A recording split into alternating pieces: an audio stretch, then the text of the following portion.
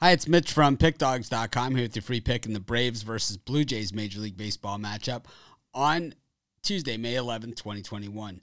Here on YouTube, I do more free pick videos than anyone, so be sure to subscribe to our channel. Be sure to check out all of our free pick videos each and every day. But let's get to this one between the Braves and the Blue Jays. The Braves, uh, home favorites in this one against the Jays, which is kind of odd to me. I think the line looks odd, and maybe it's just a it's just a play against Robbie Ray, which hey, we've all done that right before.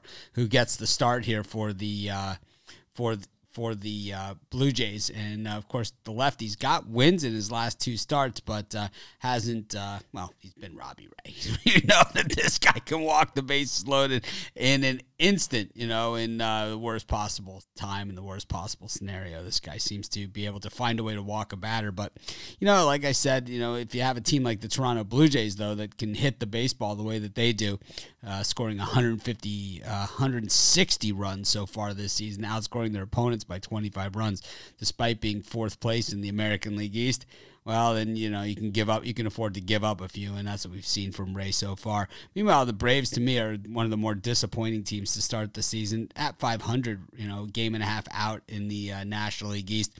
Uh, the Braves are far from done, and and, and Matter of fact, not even close. But against a team that can really hit like the Blue Jays, I think the Braves might struggle a little bit here. I'm going to take the Blue Jays here. It's a lean, and that's going to be my free pick. Of course, if you're wondering who the top handicappers believe are the best bets on the board, head on over to pickdawgz.com, click on the premium picks tab.